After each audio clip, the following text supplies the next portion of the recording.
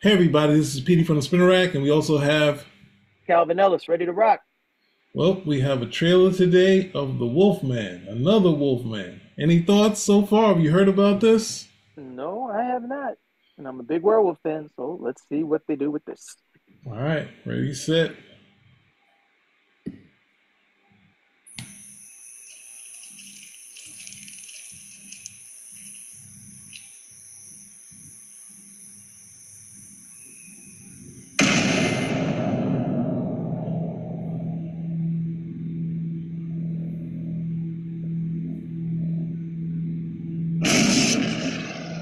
Was that thing like? It sounded like an animal. But I swear to God, it was standing on two feet. Daddy, are we gonna die? No, it's my job to protect you. What's wrong with Daddy? He got sick.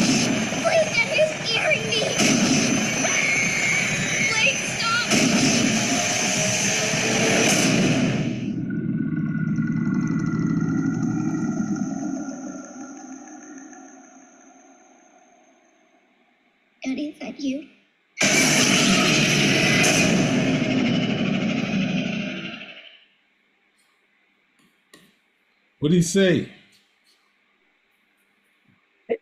The dialogue that I'm seeing in the trailer is kind of like the famous last words. Daddy, am I gonna die? No, it's my job to protect you. Against a werewolf? Come on, dude. and then the other one, Daddy, is that you? No, it's not your daddy. you know it's not your daddy. If you gotta ask, Dad, is that you? You're in trouble. But aside of that, I'm always down for a good. I'm always down for a werewolf movie. Period. Shark movies, vampires. Well, not so much vampires. Shark movies and werewolf movies. I'm always up to see one of them. It's interesting because I know what was it? It's a uh, Jack. Was it Jack Nicholson Wolfman? Did you check that one out? Oh yeah, Wolf. That was cool. Yeah, that was fun. Did you watch? My well, my father was one who watched Werewolf in London. Did you see that one? No, I never saw that. I just know the mu- just got the music. Okay. Werewolves of London. Ah, woo. Yeah, but I never got the chance to see it. That was definitely um, updated. It was with John Landis, but he did, you know, obviously done comedies and also did the thriller. But that's that's how Michael Jackson got to him The Thriller? do thriller. Yeah, because Oh, after from that, where? From Werewolves of London? Okay, now I have to actually. I'm go- okay, I'm gonna have to see this over the, before the weekend is out. but now the thing is, obviously, it's you know, was it '80? So the the effects were groundbreaking at the time. And of course, my father seeing it in the in the '90s was like, "Oh, the effects," but um, it definitely was groundbreaking for the time. And um, anyway, but yeah, it's definitely Wolf. I, I enjoy. I enjoyed it. Well, what's up? I'm a, now I'm a lot more forgiving of special effects because I don't think a lot of people realize that when you're going like as far back as the Flash Gordon serials when they're in black and white, everything is real. Yeah. Everything's real. It's not a there's no you know it's not this green screen or like we have now or computer generated. The most you might have had was a backdrop, and then everything had to be made. You know you had to actually make it from hand, and it was being in certain cases it was being suspended by a rope that had to be kept off camera, something you know or a wire. So anytime I look at those type of effects, I'm always very very forgiving because they were working with tech the technology they had at the time. And now we're working with technology to the point it's not even I mean, of course, it's a film, so none of it's real, but this isn't even like material, something you can actually touch. It's just computer generated, so you can make it look incredibly, uh, incredibly appealing to the human eye, you know, thanks to the digital effects that we have. But that's not taking anything away from what they did. You can see that you can see the effects and the quality and the time that went into it, you know, based on the films. Because some films were, you, you can look at it now and you feel like, oh yeah, with the effects, but you still knew that at the time that was some really good stuff.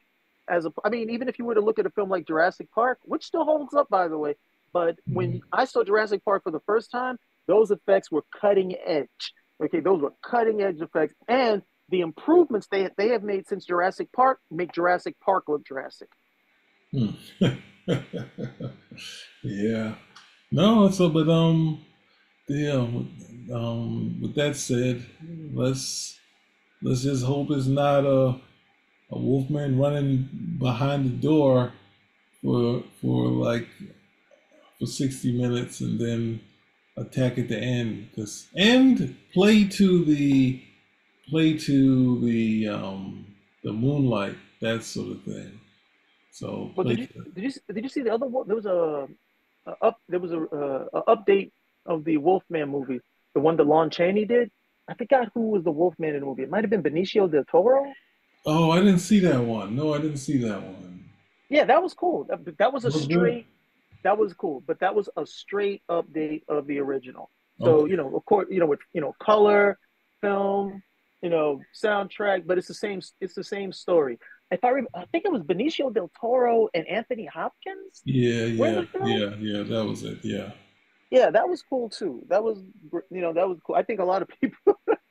It was great for me because I remember the original. It was so it was fun to see the update. I think other people were disappointed because they. I think they really expected to see like a modern werewolf who's gonna ch- be on all fours and that's. I was like, no, no, no. They're not doing Mm. that. They're not doing that with this one. No. Yeah. So um right now we we're saying, hey, let's check it out and see what happens. Spin the rack We're out. Out.